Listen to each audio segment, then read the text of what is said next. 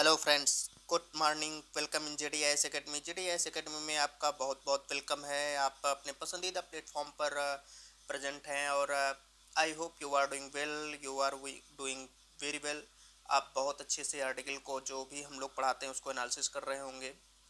Friend as you known that जैसा कि आप सभी को पता है कि हम लोग जो daily the Hindu news article जो एडिटोरियल एनालिसिस होता है, जो आपके मेंस में काम आता है और जो न्यूज़ एनालिसिस होता है वो प्रीलिम्स मेंस दोनों में काम आता है तो उसका हम जो एनालिसिस करते हैं, उस पर जो बेस्ड क्वेश्चंस रहते हैं, उसको सॉल्व कराते हैं और नोट्स भी साथ साथ बनवाते हैं तो आप लोग उसको एक्चुअली तरीके से देखिए, सही तरीके से व्यू कीजिए, उस पर एनालिसिस कीजिए और उस पर जितना हो सके उतना प्रैक्टिस कीजिए।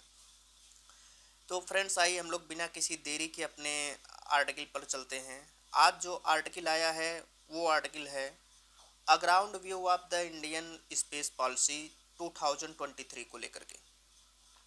और इसमें बहुत सारे बातें कही गई हैं इंडियन स्पेस पॉलिसी को लेकर के बातें कही गई हैं कि इंडियन स्पेस पॉलिसी इन्होंने कहाँ से शुरुआत किया, कैसे क्या हुआ बजट में क्या था, भारत को क्या कदम उठाना चाहिए इंडियन स्पेस पॉलिसी किस लिए आई है, उसका एम क्या है ऑब्जेक्टिव क्या है, वगैरह वगैरह।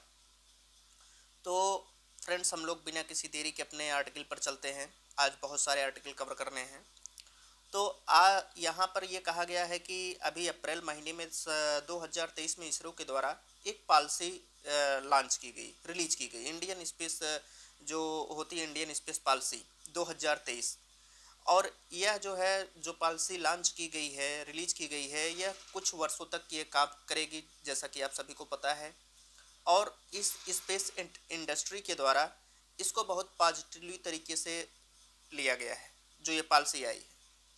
लेकिन इस पॉलिसी को इन्होंने शुरू में ही कहा है कि इसको आवश्यकता है एक सुटेबल लेजिस्लेशन की लेजिस्लेटन की, जो अस्थाई रूप से वैधानिक तरीका होता है और स्पष्ट जो नियम और विनियम होते हैं, उसको लागू करने की आवश्यकता है।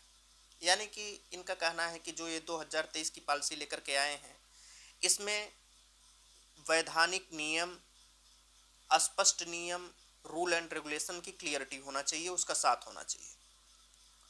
और ये भी कहते हैं कि ये जो पॉलिसी आई है पहली चीज़ की ये सेकंड स्पेस सेज लेकर के आई है। अब ये सेकंड स्पेस सेज क्या होती है जो 10 अप्रैल 2023 को लेकर के आई है इन्होंने क्या है कि भारत का जो अंतरिक्ष है आधुनिक जो अंतरिक्ष है वो आ, पहले जो पहली स्पेज एज थी जो 90 से, थी 90 के दशक से लेकर के काफ़ी लंबे समय तक थी बीस, तीस सालों तक थी। उसने जो है बहुत सारे गे, जो एम्स होता है उसको अचीव किया। लेकिन ये जो सेकेंड स्पेस एज है, यानी कि सेकेंड स्पेस पॉलिसी जो 2023 आई है, यह पूरी की पूरी जो स्पेस की क्षमता होती है, एक विशाल क्षमता होती है, उसका यूज़ करेगा। और उसका यूज़ ये किस पर्पस में करेगा? कंट्री के पर्पस में। कंट्री को हेल्प करने के लिए करके। तो ये सेकेंड स्पेस पॉलिसी जो है कंट्री को हेल्प करेगा। अगर 1990 के दशक में हम लोग जाएँ तो 1990 से जो इंडियन स्पेस इंडस्ट्री थी, जो डिया, इसरो का जो वर्क रहता था 1990 से लेकर के, वो इसरो जो है क्या काम करता था कि जितना भी अंतरिक्ष से संबंधित कार्य होता था, अंतरिक्ष से संबंधित जितने भी इकोनॉमिक कार्य होते थे, वह सब कुछ खुद ब खुद डिफाइन करती थी। और उसमें जो प्राइवेट सेक्टर था, वो प्राइवेट सेक्टर बहुत ही कम मात्रा में था। जैसा कि आप सभी को पता है कि 1990 का जो दशक था भारत के लिए, वो बहुत ही काटो भरा था, मुश्किल भरा था। और उस समय लिबराइजेशन की जो पॉलिसी आई थी 1991 में, उन्नीस सौ इक्यानबे में, उसी के आसपास की ये बात कर रहे हैं। कि वहाँ पर जो तो जो था, वो तो था ही, लेकिन वहाँ पर प्राइवेट को जो है बहुत लिमिटेड राइट दिए गए थे। और वो जो लिमिटेड राइट दिए गए थे, वो केवल और केवल इसरो की डिज़ाइन और उसकी विशेषता को बिल्डिंग करने के लिए दिए गए थे। लेकिन जो सेकेंड स्पेस से शुरू हुआ है, अभी 2023 में, उसमें प्राइवेट को ही लेकर के शुरुआत किया है उसने। क्यों? क्योंकि जब कोई व्यवस्था शुरू में आती है तो उसको इंफ्रास्ट्रक्चर की आवश्यकता आवश्यकता होती है। और 1990 के दशक में भारत के पास जो इंफ्रास्ट्रक्चर था, वो स्ट्रांग नहीं था स्ट्रिक्ट नहीं था। तो लगभग उस अवस्था को प्राप्त करने के लिए, भारत को एक लंबा इंतज़ार करना पड़ा एक लंबी पॉलिसी के तहत प्राप्त किया। लेकिन अभी भी इनइक्वेट है, अपर्याप्त है। और वो जो स्टेज है, अब जो सेकेंड स्पेस एज आई है पॉलिसी लेकर के आई है, वो प्राइवेट सेक्टर को लाइसेंसिंग को लेकर के टीवी चैनल को लेकर के इंटरनेट के ग्रोथ को लेकर के मोबाइल टेलीफोन को लेकर के, और स्मार्टफ़ोन के इमरजेंस को लेकर के। यानी कि नए स्मार्टफ़ोन की जो उभर उभर रहा है, उभरती हुई जो स्मार्टफ़ोन की टेंडेंसी है। उसको लेकर के आई है। और आज जो इसरो का बजट है, वो एक्सप्रॉक्टमेटली लगभग एक दशमलव छः बिलियन डॉलर का है। लेकिन इंडियन की जो, इंडिया की जो स्पेस इकोनॉमी का जो यानी कि अंतरिक्ष अर्थव्यवस्था है, वो भारत का नौ दशमलव छः बिलियन डॉलर की है। और इसमें ब्रॉडबैंड ओटीटी और 5G जो ये सब प्रोग्राम है इंडिया के, उसका जो एनुअल ग्रोथ देखा जाए वो सेटेलाइट बेस्ड सेवा देते हैं, वो एनुअल में डबल ग्रोथ में पहुँच गए हैं। यानी कि वार्षिक जो उनकी वृद्धि होती है, वो दोहरे अंकों में पहुँच गई है। और ये सब सेवाएँ जो है सेटेलाइट बेस्ड सर्विस होती हैं। तो इंडिया स्पेस के लिए, जो इंडियन स्पेस है, उसके लिए ये इस्टीमेट करता है।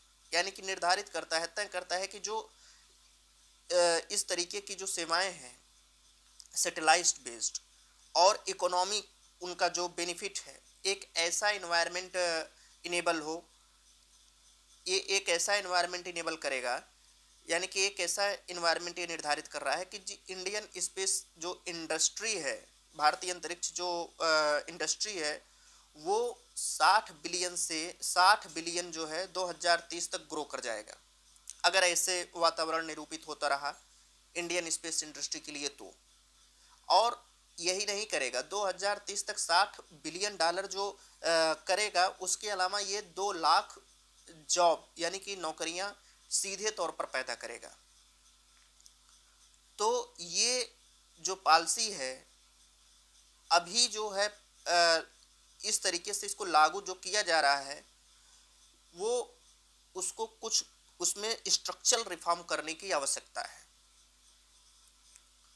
अब ये कह रहे हैं कि जो पहली सैटेलाइट कम्युनिकेशन पॉलिसी थी, वो उन्नीस सौ सत्तानवे में गाइडलाइंस के साथ जारी की गई थी फॉरेन डायरेक्ट इन्वेस्टमेंट एफ़ को लेकर के।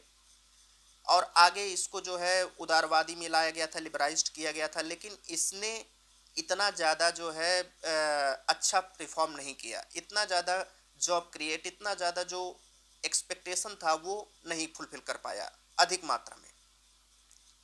और आज की जो दशा है, आज ये यही बता रहे हैं कि ये पॉलिसी लाई क्यों गई है? जो आज की जो दशा है, जो भारतीय घरों में टीवी चलते हैं, उनके लिए जो ट्रांसपार ट्रांसपोर्डर बीम होते हैं, वो पहली चीज़ की विदेशी सेटेलाइट के द्वारा आयोजित किए जा रहे हैं।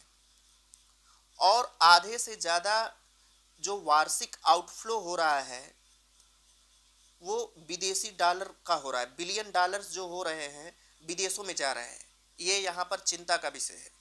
क्योंकि अंतरिक्ष क्षेत्र में भारत जो सुधार दिख रहा है, भारत ने जो अचीव किया है, इसके बावजूद जो है, भारतीय घरों में अभी भी विदेशी सेटेलाइट ही टीवी सिग्नल को प्रोवाइड कर रहे हैं और आधे से ज़्यादा जो है वो आधे से ज़्यादा ट्रांसपांडर प्रोवाइड किया जा रहा है भारतीय घरों में सिनेमा के लिए टीवी के लिए। तो इससे क्या होगा, विदेशी मुद्रा जो बिलियन डॉलर्स है डॉलर्स है, वो बिलियन की मात्रा में देश से बाहर जा रहा है।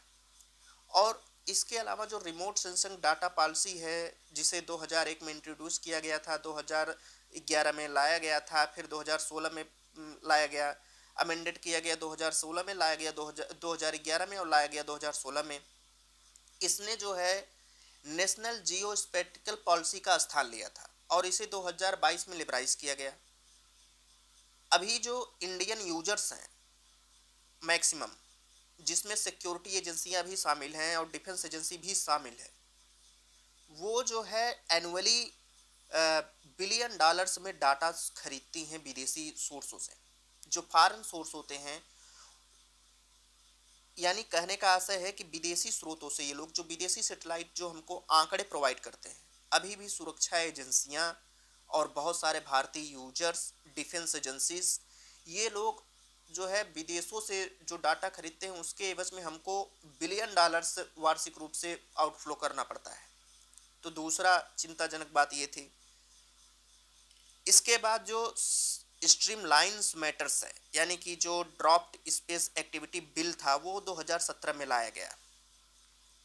और विचार विमर्श चलता रहा उस पर फिर ये जो है 2019 में लैप्स हुआ, लोकसभा में गया, और ये नए बिल जो लाए गए हैं इसमें इंट्रोड्यूस जो किया गया 2021 तक आया यानी 2017 से लेकर के 2021 तक लेकर के आया है। लेकिन अब ऐसा लगता है कि इसने जो है नई पॉलिसी को जो इंडियन स्पेस पॉलिसी है उसके उसमें जो है खुद ही कंटेंट इस, इसने शामिल कर लिया है। जो बातें इंडियन स्पेस पॉलिसी में लेकर के थी और इस पॉलिसी में जो है उसमें दोनों में एक समानता आ गई है, उसकी बातों को इसने पूरा का पूरा वही तथ्य ले ले लिया है। ड्रॉप्ड स्पेस एक्टिविटी बिल जो लाया गया था। अब ये बता रहे हैं कि डिफरेंटेज क्या है।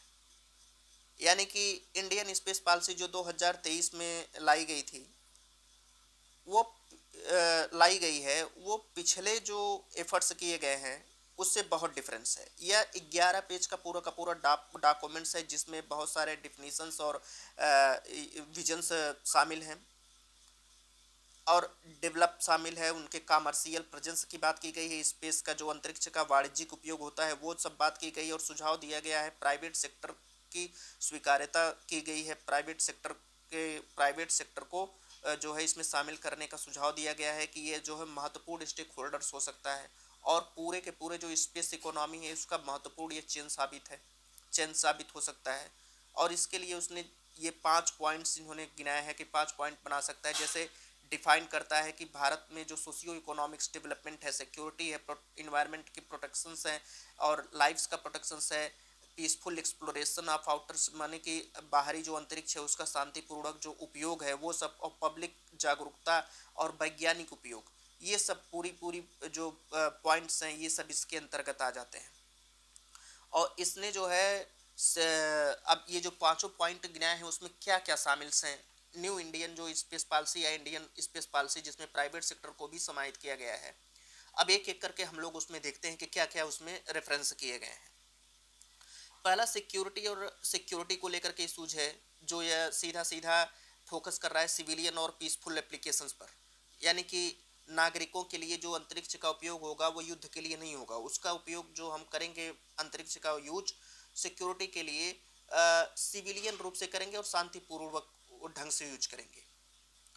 दूसरा, कि स्पेस बेस्ड जो यानी कि जो अंतरिक्ष पे आधारित इंटेलिजेंस है रिकनसाइंस है सर्विलांस सेवा है कम्युनिकेशंस है पोजिशनिंग स्थिति है नेविगेशन है कैपेबिलिटीज़ है, ये सब जो है डिफेंस सर्विसेज़ के द्वारा जो बढ़ रहे हैं, जो महत्वपूर्ण हैं, ये सब किया गया था।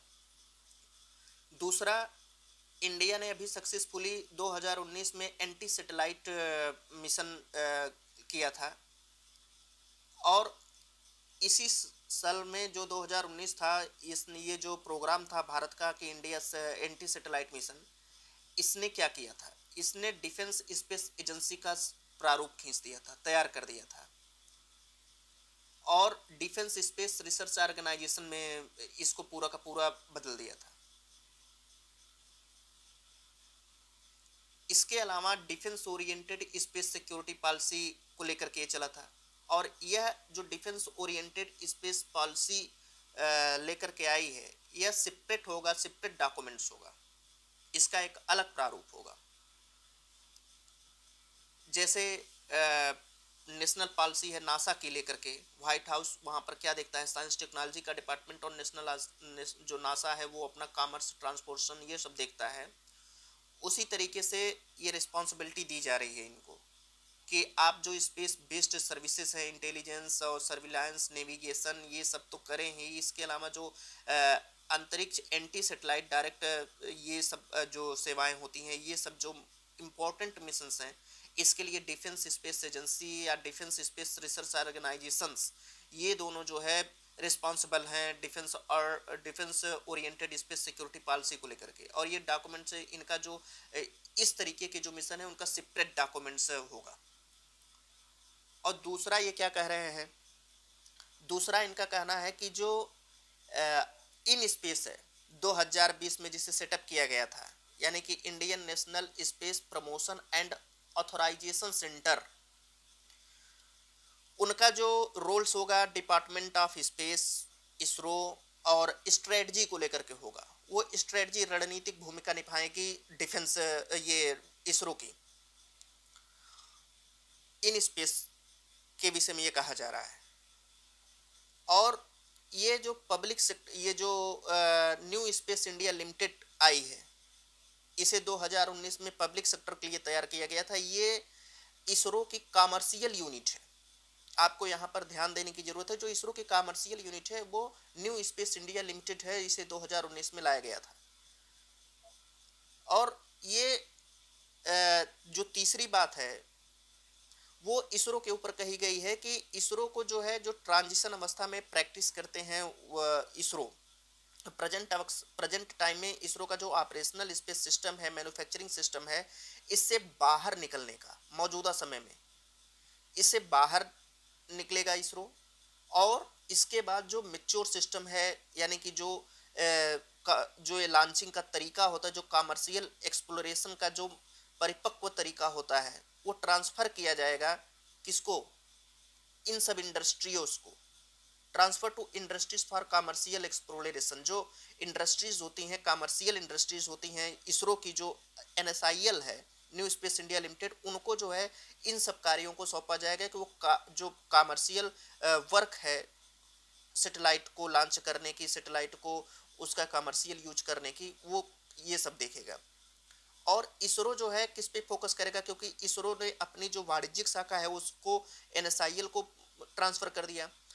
अब इसरो जो प्रैक्टिस सेट हैं जो मौजूदा समय में जो इसरो प्रैक्टिस करता है लेकर के निर्माण और उसके जो संचालन उपग्रहों के संचालन को लेकर के उसको जो है आ, क्या करेगा? उससे बाहर निकलने का उसकी पॉलिसी है। अब जो है इसरो रिसर्च ऑन डेवलपमेंट पे फोकस करेगा एडवांस टेक्नोलॉजी के ऊपर। और जो नए सिस्टम्स हैं उसको रिलाइज करेगा। राष्ट्रीय जो परफेक्ट है, राष्ट्रीय जो कार्यभार है, उसके अलावा जो इंटरनेशनल इशूज़ है, वहाँ पर यानी कि कहने का मतलब है, ये है कि राष्ट्रीय राष्ट्रीय लेवल पर इंटरनेशनल लेवल पर जो इसरो का वर्क है, वो न्यू टेक्नोलॉजी रिसर्च को लेकर के है। नई टेक्नोलॉजी रिसर्च पर अपना नई नई एडवांस टेक्नोलॉजी पर ये अपना रिसर्च करेंगे, नए सिस्टम्स को लेकर के आएँगे, जो इनका स्पेस ऑब्जेक्ट है, राष्ट्र के लिए उसको लेकर के चलेंगे और अपनी टेक्नोलॉजी को ये शेयर करेंगे प्रोडक्ट को शेयर करेंगे और बेस्ट प्रैक्टिस करेंगे, ये नॉन गवर्नमेंट जो उद्यम्स होते हैं नॉन गवर्नमेंट जो इंटाइस्ट हैं उनके लिए और गवर्नमेंट कंपनीज़ के लिए। तो यह जो लागू होगा, इसरो जो है बहुत इस तरीके से जो इसरो का वर्क होगा, वो कंसंट्रेट हो जाएगा बेहतरीन टेक्नोलॉजी के लिए, बेहतरीन मैन पावर्स के लिए और एक तरीके से इसरो का केवल और केवल वर्क होगा research and development of space technology advance form में। और चंद्रयान जो इसरो जो वैल्यूबल मैन पावर है, जो एक तरीके से कहा जाता है कि जो बहुत बिगेस्ट एसेट है man power talented man power qualified and talented man power किसके लिए? चंद्रयान और गगनयान जैसे मिशन के लिए वो अपना कार्यभार देखेगा, उसको खोजेगा, ढूंढेगा। इसरो की जो कॉमर्शियल आर्म है एनएसआईएल वो जो है इंटरफेस करेगी। अब इंटरफेस किस रूप में करेगी? इंडस्ट्री के साथ करेगी कॉमर्शियल वार्तालाप करेगी और एक कुशल उद्यम, यानी कि कुशल टेक्नोलॉजी जो सपोर्ट कुशल टेक्नोलॉजी जो है और प्रभावी टेक्नोलॉजी ट्रांसफ़र करेगी। जो उसको लेने के योग्य हैं, जिनका वर्क है, यानी कि जहाँ जहाँ उपयोग उसका हो सकता है। एन ने एन का जो वर्क है, वो कॉमर्शियल के रूप में आ गया है पूरा का पूरा पूरा जो नियोगेशन है, जो कुशल क्षमता प्रभावी योगदान है, जो उन्नत टेक्नोलॉजी का जो प्रवाह है, वह सब सपोर्ट करने के लिए आ गया है अब एनएसआईएल के पास। यानी कि लेन देन का जो कार्यभार था, वो सब एनएसआईएल देखेगा। अब प्राइवेट सेक्टर के जो रोल की बात करी जा रही है कि जो प्राइवेट सेक्टर है, चौथा ये जो चौथा पॉइंट है कि एन को लेकर के चल रहे हैं। यह जो है प्राइवेट सेक्टर है और यह अलाउड क्या करता है? एनजीईएस यह क्या अलाउ करता है? बिंदु से बिंदु तक यानी कि शुरू से लेकर के अंत तक सारी जो स्पेस सेक्टर की गतिविधियाँ होती हैं, किन के माध्यम से? अस्थायी तौर संचालन जो स्पेस ऑब्जेक्ट होता है, उसका स्टेब्लिशमेंट और उसका ऑपरेशनल तरीके से। और जो ग्राउंड बेस एसेट होता है, जो रिलेटेड सर्विस है, जैसे कम्युनिकेशन, रिमोट सेंसिंग, नेविगेशन, ये सब जो सेवाएँ हैं, ग्राउंड बेस सर्विसेज़, ये सब प्राइवेट सेक्टर लेकर के चल रहा, चलेगा। एन जी ई एस उसको जो है, ये जो पॉलिसी आई है, उसमें अनुमति देता है। सेटेलाइट जो है, स्वयं का हो सकता है, या खरीद कर हो सकता है, या लीज पर हो सकता है। कम्युनिकेशन जो सर्विस है, वो पूरे इंडिया में हो सकता है, या उसके बाहर हो सकता है। और रिमोट सेंसिंग जो डाटा है, वह इंडिया में भी हो सकता है, या इंडिया से बाहर हो सकता है। एन क्या करेगा कि एन डिज़ाइन कर सकता है ऑपरेट कर सकता है? क्या ऑपरेट कर सकता है? लॉन्च व्हीकल ऑपरेट कर सकता है। स्पेस ट्रांसपोरेशन के लिए जो अंतरिक्ष की में परिवहन सुविधा होती है कोई चीज़ ले आने, ले जाने की, उसकी ज़िम्मेदारी अब एनजीई जो कि प्राइवेट सेक्टर है, उसका डिज़ाइन करना, उसका ऑपरेट करना, उसका इंफ्रास्ट्रक्चर करना, उसको इस्टेब्लिश करना, अब ये सब एन देखेगा।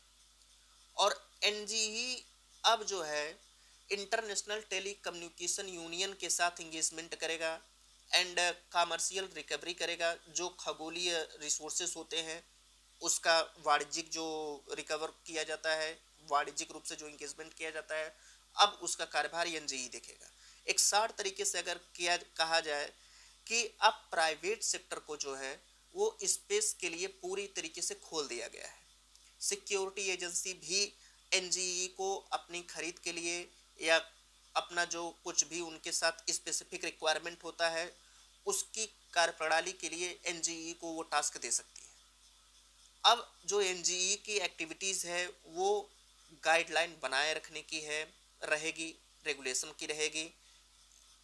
यानी कि एनजीई का जो कार्य करने का तरीका है, जो कार्य प्रणाली है, जो सिस्टम है वो जो दिशा निर्देश किए जाएँगे, इन स्पेस के अंतर्गत किए जाएँगे। उनको जो गाइडलाइन प्रोवाइड किए जाएँगे, जो रेगुलेशन किया जाएगा, नियंत्रण और विनियमन जो किया जाएगा, वो इन स्पेस के द्वारा किया जाएगा। और इस तरीके से गवर्नमेंट इंटाइज और एन के लिए जो इन स्पेस है, वो एक सिंगल विंडो का एजेंसी के रूप में उसको देखा जाएगा कि सिंगल विंडो एजेंसी के रूप में यह कार्य करती है। और किसके लिए सेफ्टी सिक्योरिटी इंटरनेशनल उत्तरदायित्व obligation and overall national interest को लेकर के? जो नेशनल दायित्व होता है, अंतर्राष्ट्रीय दायित्व होता है सेफ्टी होती है सिक्योरिटी होती है वह पूरा का पूरा जो गवर्नमेंट और एन की कार्यप्रणाली है, जो दिशा निर्देश है, वो इन स्पेस देखेगा। और फाइनली जो है, इन स्पेस से ये उम्मीद की जाती है कि यानी इन स्पेस से जो एक्सेप्ट किया जाता है कि create a stable and predictable regulatory framework यानी कि एक अस्थाई रेगुलेटरी फ्रेमवर्क ढांचे के तहत यह कार्य करेगा, जो निश्चित करेगा कि जो विभिन्न प्रकार के एन के हर फ़ील्ड में जो प्ले किया जाता है एन का जो कार्यप्रणाली है, जो प्ले किया जाता है, जो उसको रेगुलेट कर, करेगा, जो उसको एक सुनिश्चित दिशा में जो गाइडलाइन है, उसको प्रोवाइड करेगा। और ये जो है इंडस्ट्री क्लस्टर्स यानी कि जो कॉमर्शियल इंडस्ट्रीज़ क्लस्टर्स होते हैं उनको भी प्रमोटिंग के लिए तैयार करेगा उनको भी प्रमोट करेगा। एक रेगुलेटर यानी कि एक नियामक गाइडलाइंस के साथ और उत्तरदायिता के साथ उत्तर लाइबिलिटीज इशूज के साथ। यानी कि एक जैसे आ, कोई कार सिस्टम होता है कोई ढांचा होता है तो उसके ऊपर कोई अथॉरिटी होती है। जैसे भारत में बैंकिंग सिस्टम है तो बैंकिंग सिस्टम के ऊपर आरबीआई का बहुत स्ट्रिक्ट गाइडलाइन होता है। उसी तरीके से जो एनजीई का वर्क होगा, वो पूरे के पूरे प्राइवेट सेक्टर है एन और उसका जो कार्यभार है, पूरा का पूरा ground based assets related service communication सब कुछ उसके लिए खोल दिया गया है। उसके ऊपर जो अथॉरिटी बैठाई गई है, वो इन स्पेस बैठा दिया गया है। अब इन स्पेस जो गाइडलाइन जारी करेगा, एनजीओ को वो फॉलो करना पड़ेगा। इन स्पेस जो कुछ भी कहेगा, एनजीओ को वो करना पड़ेगा और इन स्पेस समय समय पर अपनी गाइडलाइन कॉमर्शियल प्रोटेक्शन के लिए कॉमर्शियल प्रमोटर्स के लिए सब कुछ वो रेगुलेटर तरीके से जारी करेगा। लाइबिलिटीज इशूज भी वो देखेगा।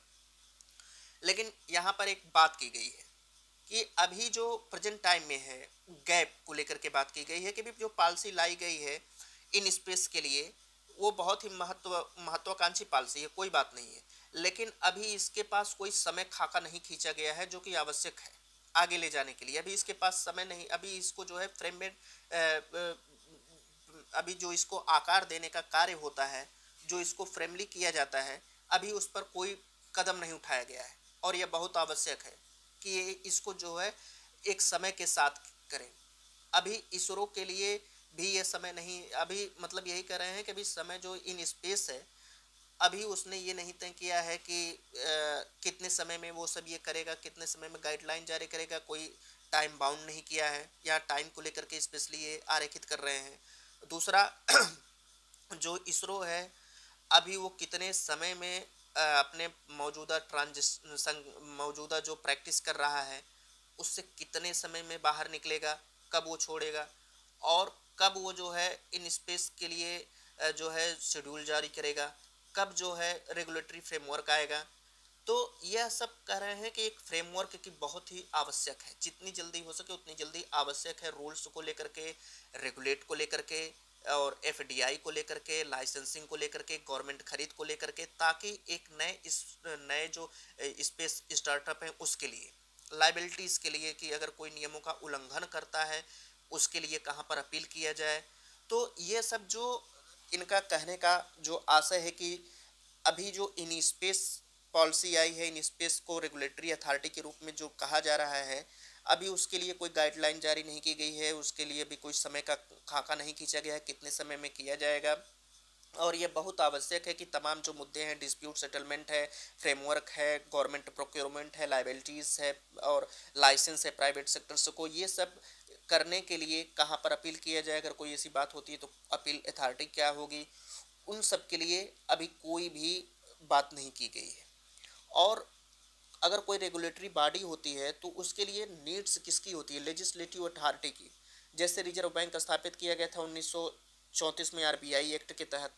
फिर इसके बाद जो है उन्नीस सौ बानवे में सी एक्ट के तहत securities and exchange board of India स्थापित किया गया था। टेलीकॉम रेगुलेटरी अथॉरिटी ट्राई जो है उन्नीस सौ सत्तानवे में स्थापित किया गया। तो इस प्रकार इन स्पेस से अपेक्षा की जाती है कि जो अथराइज स्पेस एक्टिविटीज़ है सबके लिए, गवर्नमेंट के लिए और नॉन गवर्नमेंट उद्यम के लिए, दोनों के लिए वो एक अथराइज का काम करेगा। और प्रेजेंट टाइम में जो ये पोजीशंस है फ़ंक्शंस की, वो स्पेस का जो फ़ंक्शंस है, वो सब जो कुछ भी देख रहे हैं, वो इसरो के चेयरमैन के ही रूप, इसरो के चेयरमैन देख रहे हैं। तो इसको जो है रेगुलेट करने की ज़रूरत है, पूरी तरीके से गवर्नमेंट के द्वारा। और इसको एक ढांचे में लाने की ज़रूरत है रेगुलेटरिंग सिस्टम को।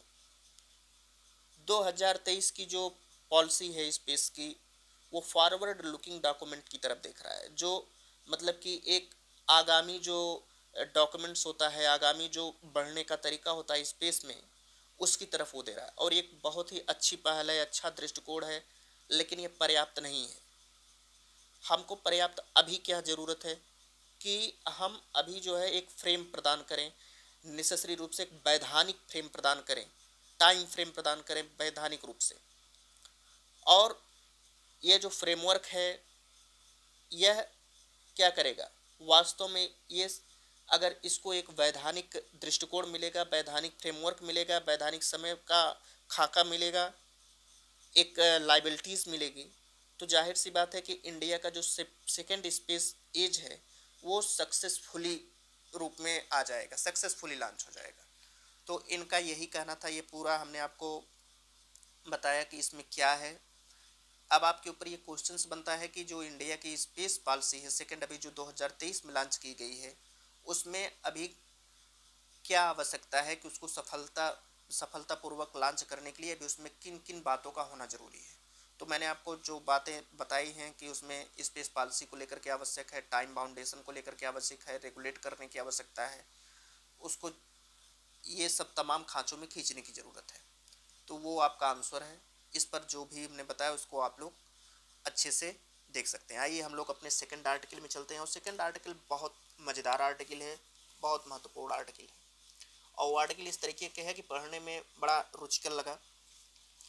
अब यहाँ पर बात जो है वो की जा रही है पुतिन साहब की। The fall out of Putin helping make NATO great again इनका कहना है कि पुतिन की जो कार्यवाही है, पुतिन का जो कार्य करने का तरीका है, उन्होंने एक तरीके से फिर से नाटो को बहुत मज़बूत बना दिया। क्यों बना दिया? क्योंकि अभी देखिए, अभी हाल ही में क्या हुआ कि नाटो में जो नॉर्थ अटलांटिक टेरिटरी ऑर्गेनाइजेशन होता है, वह अपनी सीमा पर, यानी कि रसिया की सीमा पर लगभग लगभग दोगुना हो गया। कैसे दोगुना हो गया? क्योंकि अभी अप्रैल 2023 में फिनलैंड जो है, इकतीसवें सदस्य के रूप में जोड़ा गया है। आपका प्रीलिम्स का क्वेश्चन है कि 2023 में फिनलैंड कौन सा सदस्य नाटो में जुड़ा? तो फिनलैंड जुड़ा। और स्वीडन जो है वो बहुत ही जल्दी उसका मेंबर बन जाएगा। तो एक जो नाटो की सीमा होती है रसिया के साथ, वो पहले से लगभग दोगुनी हो गई है। और ये नाटो अपना विस्तार कर रहा है और ऐसा लग रहा है कि जो बाल्टिक सी है, वो भी नाटो झील बन जाएगा। तो इस तरीके से फिनलैंड का जो बहुत तेज़ी से नाटो में शामिल होना एक एक तरीके से अपने आप में बहुत रिकॉर्ड कायम करता है। और नॉर्थ का, नॉर्थ नॉर्थ जो लंबे समय से जो नॉर्डिक कंट्री हैं, फिनलैंड और स्वीडन, ये लोग पहले क्या थे? पहले जब इनको नाटो में शामिल करने के लिए कहा गया था तो इन्होंने मना कर दिया था। और ये जो है, मिलिट्री नॉन एलिजमेंट जो सैन्य गठबंधन होता है, उससे खुद को ये अलग बना लिए। और ये ये बहुत चालाक देश थे कि पहले अपना जो स्पेंड है, जो अपना व्यय है वो मिलिट्री से हटा लो। मिलिट्री से हटा करके अपना पहले सोशल इकोनॉमिक जो बहुत इंपॉर्टेंस होता है किसी भी कंट्री के लिए, उस पर आप अपना डेवलपमेंट कर लें। अब ये उस पर अपना डेवलपमेंट कर लिए मॉडर्न वेलफेयर स्टेट ला दिए आधुनिक लोक कल्याणकारी राज्य की स्थापना कर लिए। इसके बाद जब इनको लगा कि अब हम पर्याप्त रूप से उचित हो गए हैं तो एक उसमें आग का काम किया यूक्रेन पर आक्रमण तो इनको लगा कि अब हमको शामिल होने की ज़रूरत है, अब ये धीरे से शामिल हो गए। इसके बाद रसिया का जो रसिया के साथ इनका जो संबंध था, वो अच्छा था। स्वीडन के साथ और ये फिनलैंड के साथ।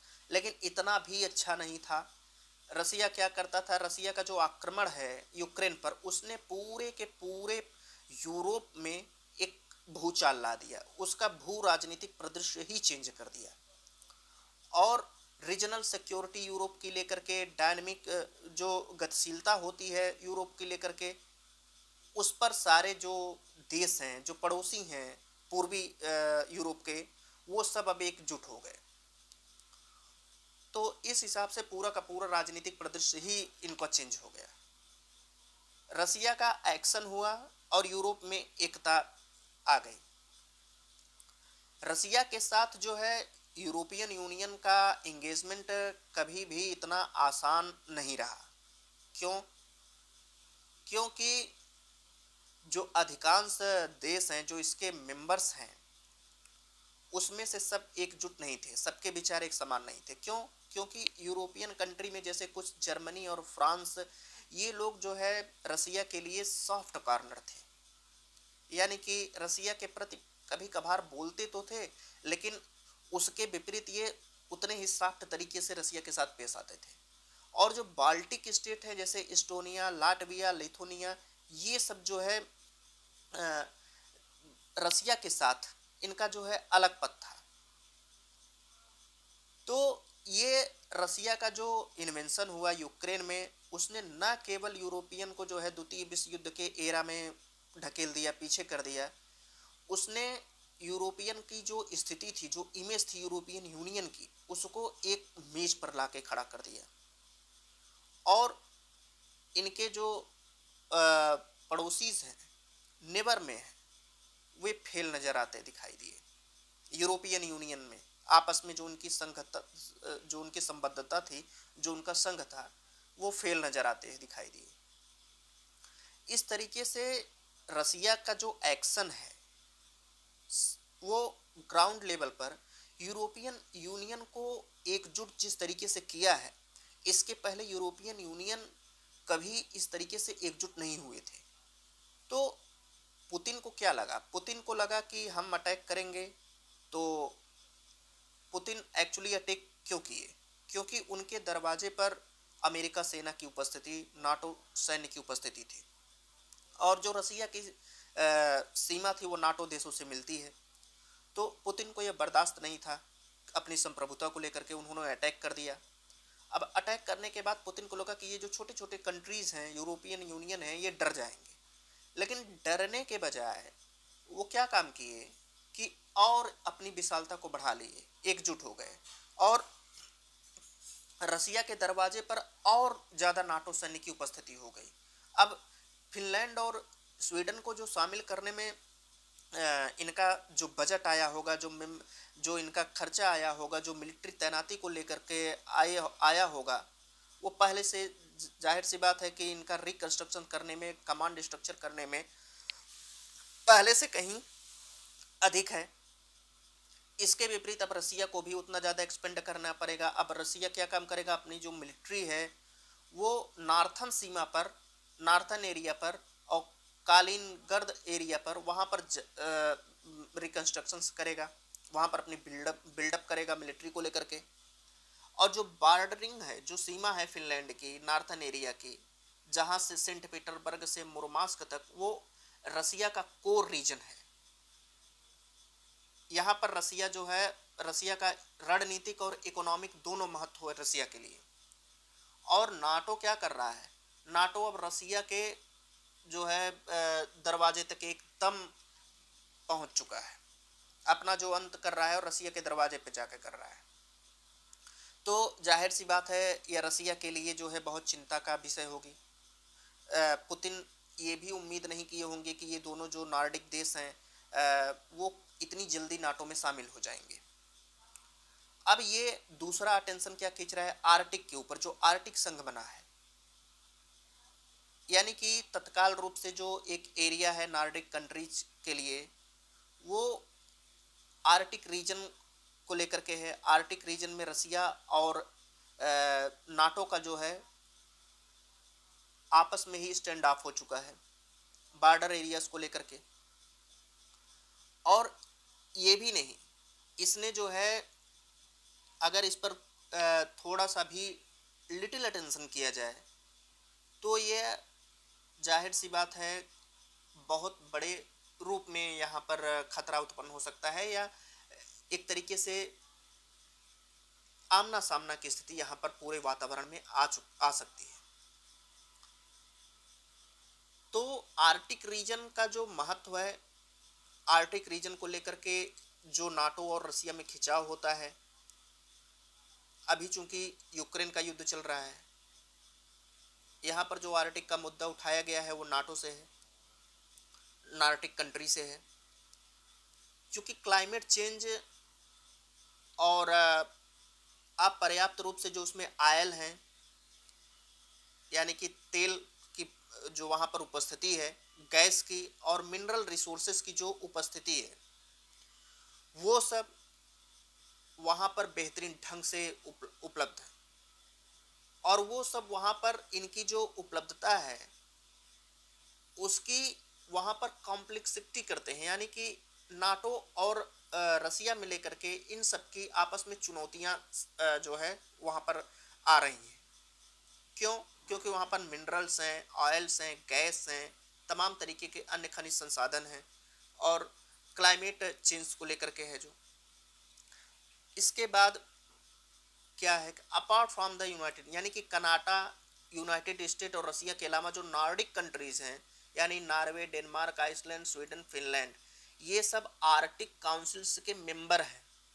और ये लोग सीधे जो है आर्टिक अफेयर से हैं आर्टिक अफेयर से जुड़े हुए हैं, सीधे उनके उनसे जो है उनसे संबद्ध हैं।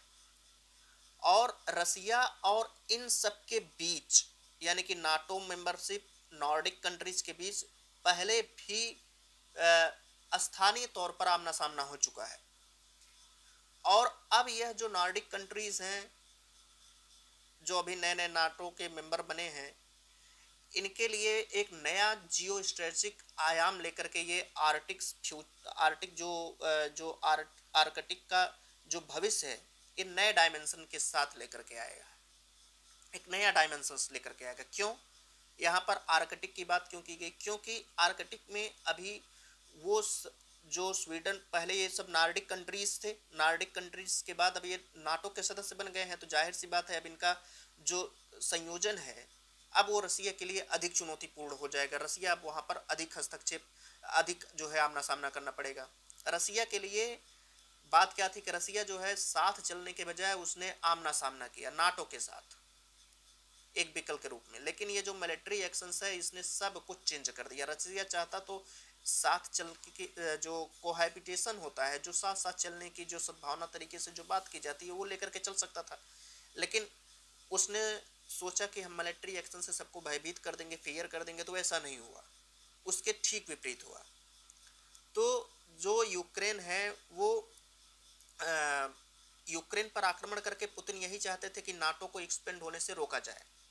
अब आप सोच सकते हैं कि कितनी भयंकर मिस्टेक थी कि किसी को हथियार के दम पे डरा देना।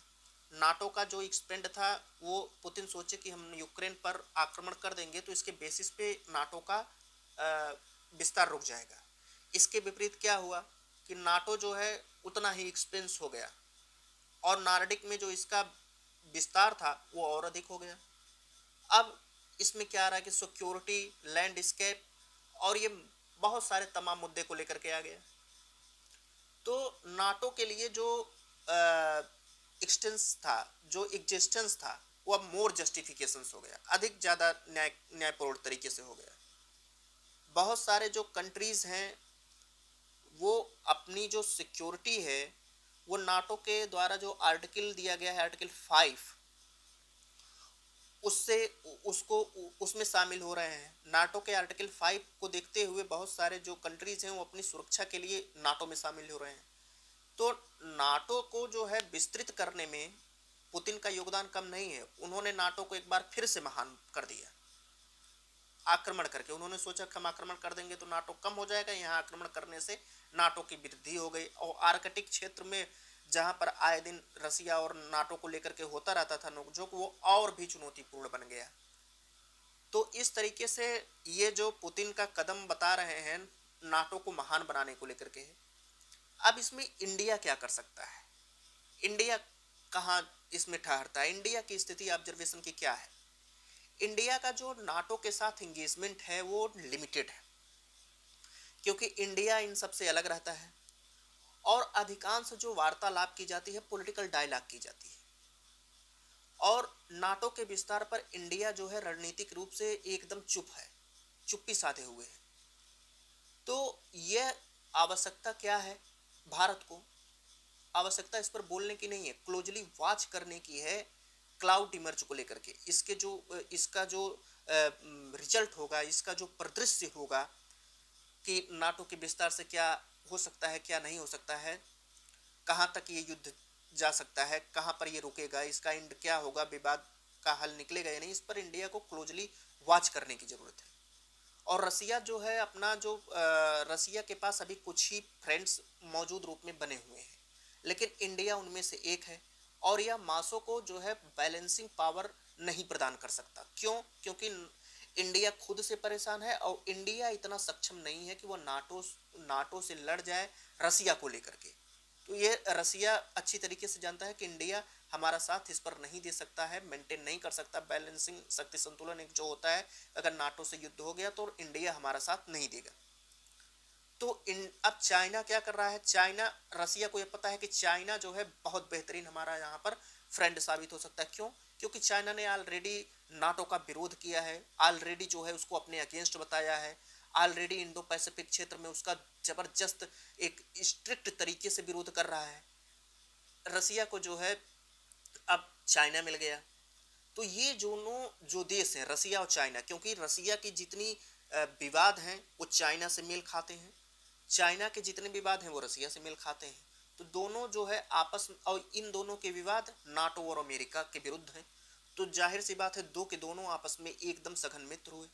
अब ये दोनों स्ट्रेटजिकली तरीके से मिलिट्री तरीके से उसका जो सामना कर रहे हैं, ये भारत के लिए बहुत जो है देखने लायक है। भारत के लिए इसमें जो है, अब ये देखना होगा कि भारत इनका जो सामना कर रहा है स्ट्रेटजिकली और मिलिट्री तरीके से, वो किस तरीके से कर रहा है। ये इंडिया के अगेंस्ट तो नहीं है। इंडिया के लिए ये भारत का जो दृश्य है, वो कैसा होगा? क्योंकि इन चाइना और रसिया का एक साथ आना भारत के लिए अच्छी स्थिति नहीं है। और वैसे भी अभी हाल के वर्षों में उत्तरी क्षेत्रों में जो नार्डिक रीजन है, वहाँ पर प्राइम मिनिस्टर नरेंद्र मोदी जो है, वो वहाँ पर दौरा करके आए हैं कोपनहेगन में। सेकंड जो इंडिया नार्डिक समिट हुआ था मई 2022 में। ये भारत की जो रणनीति है, उसकी आवृत्ति जो है एक राडार पर है। और जो भारत का डीप इंटरेस्ट है कॉपरेशन है वो सहयोग देने को लेकर के है। भारत वैसे भी किसी जब अपनी लड़ाई नहीं लड़ता तो भारत क्या विदेश की लड़ाई लड़ेगा? भारत किसी के मैटर में हस्तक्षेप करता ही नहीं क्योंकि इतना कैपेबल है ही नहीं। ये बहुत करेगा तो शांति दूत बनकर काम करेगा शांति के साथ काम करेगा और वही अप्लीकेबल भी है वही अच्छी भी अच्छी भी स्थिति होती है क्योंकि युद्ध के बाद लोग शांति ही जाते हैं। तो नाटो जो आ, नाटो का जो अम्ब्रेला है, वो पूरी तरीके से इंडिया इंडिया की जो स्ट्रेटजिक है, उस पर डिपेंड करता है। उस पर जो है इंडिया की रणनीति जो है, वो अब देख रहे हैं इंडिया के जो मिनिस्टर्स हैं इंडिया की जो डेलीगेसी है, वो अब ये इस पर ऑब्जर्वेशन करने की उनको ज़रूरत है कि नाटो का जो वहाँ पर साइन है, जो नाटो का प्रेजेंटेशन है वो किस हद तक किससे जाकर के आर्कटिक क्षेत्र से मिलता है नार्डिक जो कंट्रीज़ है? क्योंकि भारत को आर्कटिक सेक्टर में ऑब्जर्वेशन ऑब्जर्वर का दर्जा प्राप्त है। और आर्टिक पॉलिसी को भारत प्रमोट करने को लेकर के मल्टी लेवल स्तर पर। तो फिनलैंड जो नाटो का मेंबरशिप है और स्वीडन जो बहुत ही जल्दी ज्वाइन होगा, उस पर चाइना का जो न्यू आर्टिक स्टेट है, उस पर चाइना जो है विरोध करता है। चाइना का जो क्लेम है नए आर्टिक स्टेट को लेकर के और उसके पार्टनरशिप को लेकर के रसिया रसिया को लेकर के इस क्षेत्र में, वो आर्कटिक क्षेत्र के सैन्यकरण और उसके अफेक्ट लेकर के बात करता है कि अगर ये दोनों आ गए तो वहाँ पर जो सैन्यकरण की स्थिति बन सकती है, उससे इंडिया और जो तमाम और देश हैं उस पर क्या प्रभाव पड़ेगा? तो इंडिया जो कि ग्लोबल एक्टर का रोल निभा रहा है, उसको उसका जो ग्लोबल एक्टर रोल निभाने को जो लोग कहते हैं, उसका तो अभी टेस्ट होगा, उसका परीक्षण किया जाएगा कि जो न्यू यूरोपियन सिक्योरिटी आर्किटेक्ट हुआ है नाटो के द्वारा, नई यूरोपियन जो सुरक्षा पद्धति है जो रसिया के द्वारा जो निहित की गई है, रतिया के द्वारा जो उसमें तैयार की गई है नई यूरोपियन सिक्योरिटी नाटो के द्वारा, वहाँ पर इंडिया कैसा अपना लीडरशिप करेगा, कैसा अपना उसको रणनीति तय करेगा? ये इंडिया के लिए बात होगी। तो फ्रेंड्स ये कि पूरा पूरा बेहतरीन आर्टिकल था और ये आर्टिकल जो है एक बहुत बेस्ट है। क्यों? क्योंकि ये नाटो को जो है आ, फिर से महान कर रहा है। ये देखिए यहाँ पर क्या कहा गया है? स्नैप जजमेंट को लेकर कहा गया है। इसमें कुछ खास नहीं है। खास यही कहा गया है कि अभी जो साउथ साउथ अफ्रीका से बारह चीते आए थे भारत में वो उसमें से दो ऑलरेडी डेथ हो गई है। एक जो पहले से ही उसमें फंग इन्फेक्शन था, यानी कि गुर्दे में संक्रमण था। और इस तरीके से जो डेथ हुई है, उसको जल्दबाजी में नहीं देखना चाहिए। अभी जो भारत का ये जो एम्बिशन है प्रोजेक्ट चीता ये पंद्रह परसेंट पर कार्य वर्क कर रहा है कि पंद्रह परसेंट ही कंप्लीट किया है प्रोजेक्ट चीता और आगे के दशकों में पैंतीस चीता लाने का प्रोग्राम भारत के द्वारा प्रत्येक वर्ष है। इस तरीके से जो एनिमल्स फैक्टर्स हैं कि एक जो उनका नेचुरल कंडीशंस होता है कि जहाँ पर वो रहते हैं, जो उनका हैबिटेट है, यहाँ पर महत्वपूर्ण ये है कि जो नेचुरल डायनेमिक होता है, जो नेचुरल तरीके से वो लोग रहते हैं, क्या वो भारत की कंडीशंस में एडॉप्ट कर सकेंगे? क्या वो भारत की कंडीशन यानी कि भारत की जलवायु में सर्वाइव कर सकते हैं या नहीं? दक्ष जो कि फीमेल चीता थी, वो दो इन, दो जो मेल चीताज थे उनके द्वारा घायल कर दी गई और उसको इलाज के दौरान जो है वो डेथ हो गई उसकी। तो इसको भी देखने की बात की जा रही है कि उसको जो है सही तरीके से जो एडमिनिस्ट्रेशन है, उसको उसको ऑब्ज़र्व करें। और गिर में जो पॉपुलेशन गुजरात में जो गिर है, वहाँ पर शेरों की जो वृद्धि हुई है और जो वहाँ पर और जो टाइगर्स हैं, उनका जो संख्या में वृद्धि हुई है, वो एकाएक नहीं हुए, कई दशकों के परिणाम थे।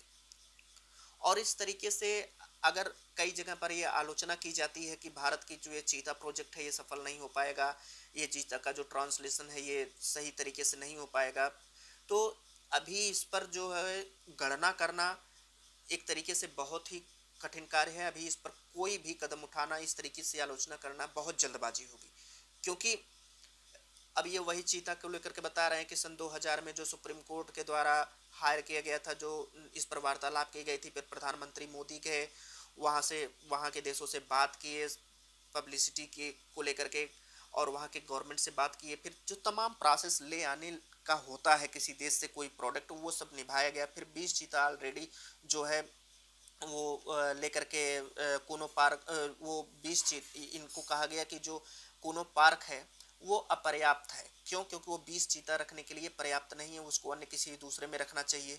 तो इनका यही कहना है कि इतनी जल्दी जो है, ये जो जीना मरना है, वो तो लगा रहता है, लेकिन इतनी जल्दी किस, किसी प्रोजेक्ट को लेकर के इस तरीके से वक्तव्य जारी करना कि प्रोजेक्ट चीता फेल हो गया, वो भारतीय जलवायु में सर्वाइव नहीं कर सकता तमाम जो तरीका है, वो अभी बहरहाल ठीक नहीं है और जो एडमिनिस्ट्रेशन है, जो हमारे जो हमारे वन्य जीव के जो लोग रहते हैं, उनको करने की क्या आवश्यकता है?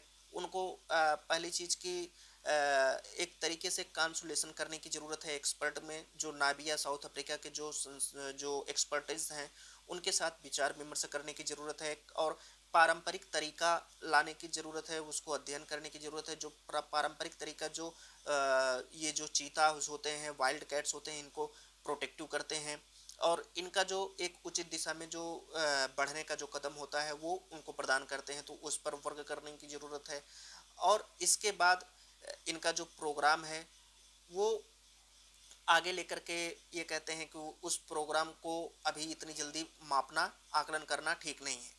और ये आगे ऐसे चलता रहेगा।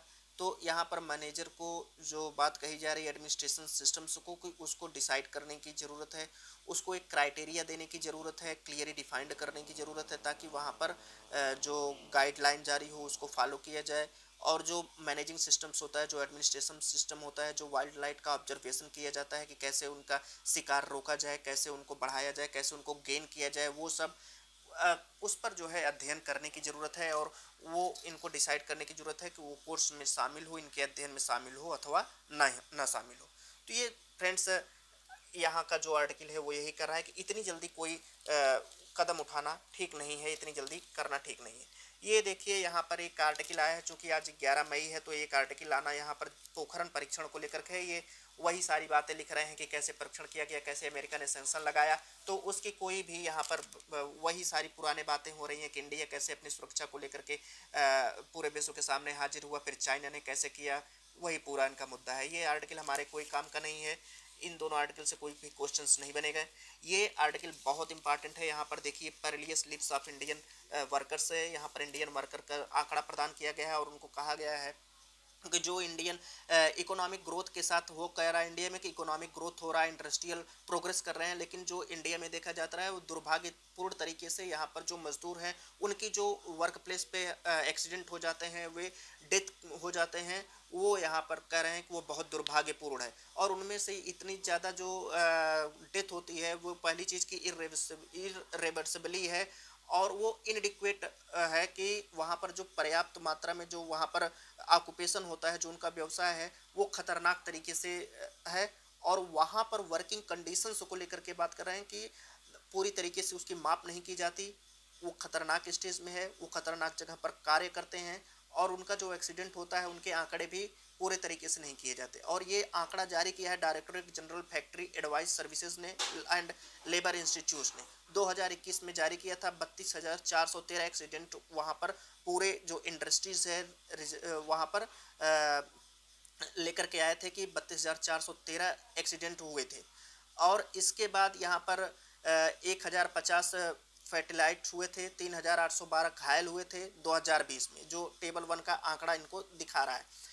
फिर इसके बाद ये कहते हैं कि ये जो आंकड़े हैं, पहली चीज़ कि उसको सही तरीके से लाने की ज़रूरत है, उसको सही तरीके से करने की ज़रूरत है, क्योंकि ये आंकड़े एक ही जगह से प्रोवाइड किए जाते हैं और वो अपर्याप्त हैं। चीफ इंस्पेक्टर की बात कही गई कि वहाँ पर कई सारे पद खाली रहते हैं। इस तरीके से आंकड़ों को जो है, उसको सही तरीके से ले आने की ज़रूरत है, पदों को भारी मात्रा में भरने की ज़रूरत है।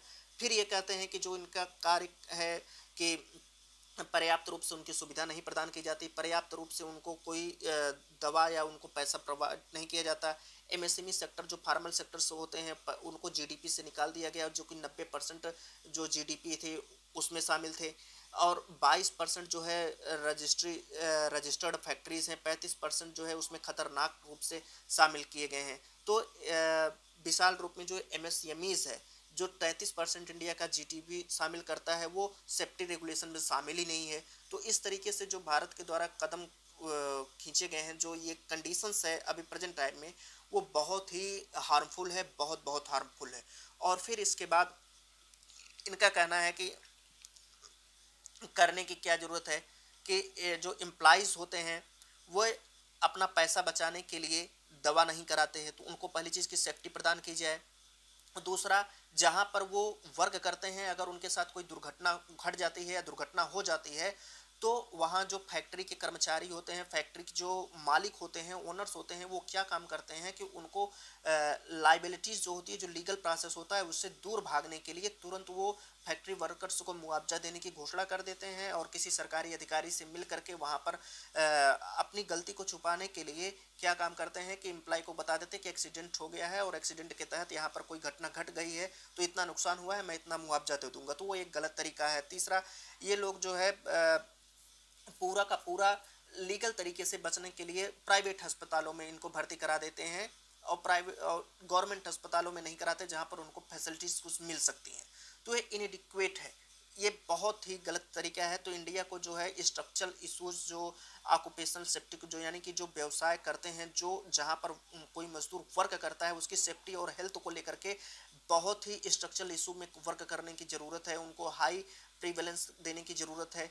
यानी कि जो वर्क प्लेस पे एक्सीडेंट हो रहे हैं डेंजर हो रहे हैं वर्क हेल्थ को लेकर के, वो ना हो और इनको लाज और रेगुलेशन को बहुत स्ट्रिक्टली तरीके से लागू किया जाए, किस तरीके से कोई कदम ना उठाया जाए, किसी के द्वारा के सम इंडस्ट्रीज़ हैं जो बहुत ख़तरनाक तरीके से वर्किंग सिस्टम पर वर्क करती हैं तो उनको रेगुलेट किया जाए कि इस तरीके से नहीं होना चाहिए, इस तरीके से वर्क पद्धति नहीं होना चाहिए। तो इंडिया अगर इस तरीके से हेल्थ पर वर्क नहीं करेगा तो एक जो डेवलपिंग इकोनॉमी की बात की जाती है सस्टेनेबल इकोनॉमी की बात की जाती है, वो तो आप छोड़ दीजिए, एक सभ्य समाज भी नहीं वर्क कर सकता। मतलब कि इक्विटेबल सोसाइटी भी नहीं बन, बना सकता। तो यहाँ पर सेफ्टी को लेकर के कहा गया है सोशल सिक्योरिटी को लेकर के कहा गया है कि इनमें जो इंडियन गवर्नमेंट की जो पॉलिसी होती है, उसमें मुख्य रूप से यहाँ पर ये शामिल किया जाना चाहिए। सोशल सिक्योरिटी को लेकर के सेफ्टी को लेकर के और इन दर्जन जो घायल होते हैं, उनको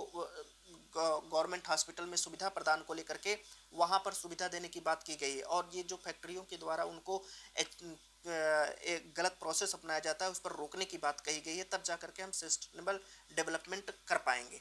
यहाँ पर देखिए, ये आंकड़े हैं, कैसे कैसे डेंजर्स हुए, फिर फ्रैक्चर्स हुए 2011-2020 में, ये पूरे के पूरे आंकड़े हैं, इस पर आप लोग देखिएगा। तो फ्रेंड्स ये पूरा का पूरा जो है आर्टिकल था, और ये आर्टिकल जो हमने एनालिसिस किया, इसको लेकर के आप लोग जो क्वेश्चन दिए हैं, वो सॉल्व करिएगा।